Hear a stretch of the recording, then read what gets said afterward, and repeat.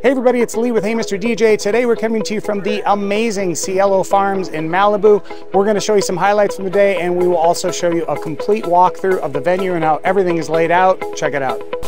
Hey everybody, we're here at Cielo Farms in Malibu. We're going to take you through the whole property today. Uh, guests will come right up the hill and they will valet right up there. Vendors can unload in this parking lot. So you do have pretty quick access, but then you need to relocate your vehicles. Uh, all guests will walk in this way. It's absolutely beautiful property. And uh, today we're here celebrating Ricky and Melissa. Got a water station for the guests. Got a nice photo display.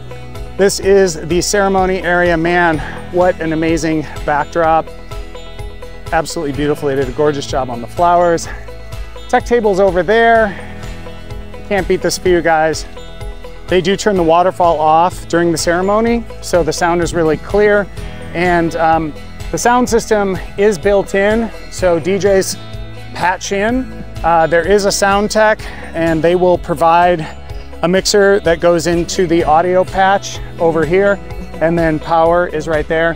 So we have brought, we're still gonna clean up this table a little bit and cover it up, but uh, we have, uh, we brought our own wireless mics. They do have venue mics, but we're a fan of having backup. So we have our multi-channel mixer.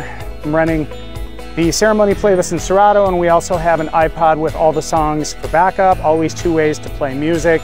And we're also close enough where we have a hard line, a 50 foot cable, and a handheld mic, just in case something were to happen with one of the two wirelesses.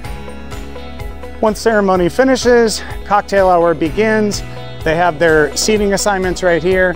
They'll be able to step into this amazing cute little barn area and the bar is right here. And uh, we'll have sound running through the house. Speakers, once again, were patched into house sound.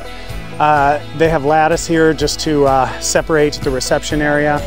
And then once guests are finished, uh, with cocktail hour, they will come out and find their seats for dinner. And we have an absolutely beautiful area out here. They're still doing some final touches on the tables.